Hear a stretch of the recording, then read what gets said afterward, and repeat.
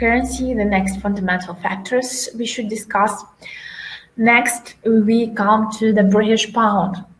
Recent data uh, were rather negative. Today, we got the news that British manufacturing production fell by 0.9%. All in all, uh, the recent data from the UK were not as bad as analysts would have expected after the Brexit vote in June. But still, today's figures gave the market a negative impression. And we will see later that uh, this data affected the pound uh, and made it decline versus the US dollar. Another piece of news, another important driver for the sterling in the recent days, and uh, this driver will continue to have an impact on the British currency in the next trading sessions, is the talk about Brexit and, uh, to be more precise, the legal procedures which um, should be uh, set in motion before um, for the Brexit to actually begin. Um, as we know, the UK High Court uh, in November announced that uh, British Parliament should and actually may uh, have a vote on the Brexit process, on uh, the timeline of triggering Article 50, which um, should be triggered to begin Brexit. Uh, earlier, it was thought that British government would um, be doing all uh, the work and would be initiating Brexit. And Theresa May, the UK Prime Minister, said that she is going to um, trigger Article 50 by the end of March 2017. Then there was the decision of British High Court in November, and um, this decision created expectations that Brexit would be delayed by several years or even uh, this scenario will be entirely cancelled. This helped the British pound recover. But uh, today, uh, Prime Minister Theresa May has announced that she will ask Parliament to back the government plan to formally serve Article 50 by the end of March 2017. Currently, the UK Supreme Court is uh, starting an appeal, an appeal to make the Parliament decide the fate of Britain in the European Union. But um, today's announcement by Theresa May sounded negative for the British pound and um, made traders believe that after all, it would be the government which will trigger Brexit and uh, it would make it in time according to the schedule in March 2017. So uh, these recent developments we saw this week were negative for the British currency. Also watch the discussion which concerns Britain's access to the European Union single market, as this news flow is also important for the pound. And earlier there were comments that Britain may actually pay for access to um, the European Union single market. But the nations Foreign Minister Boris Johnson has downplayed this idea.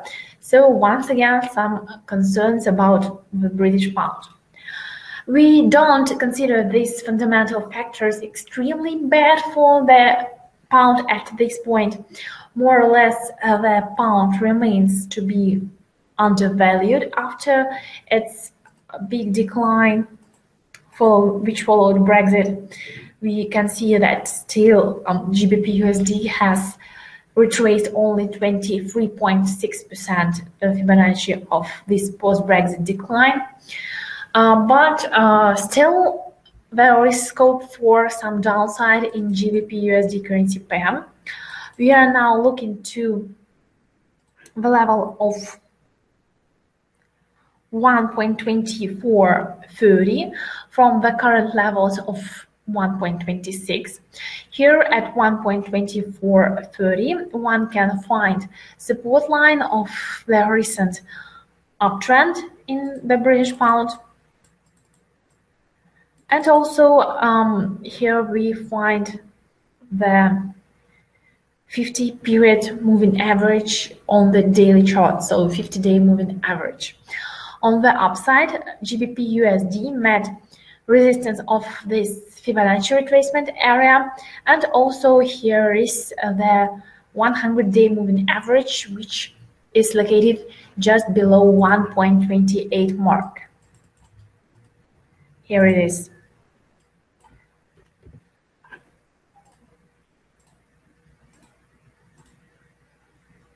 1.28. If we look at the Japanese candles, we can see that um, although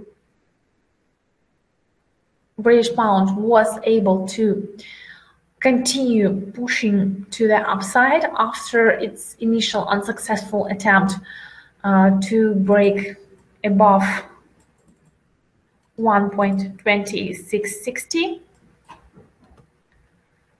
let us put this level in the chart.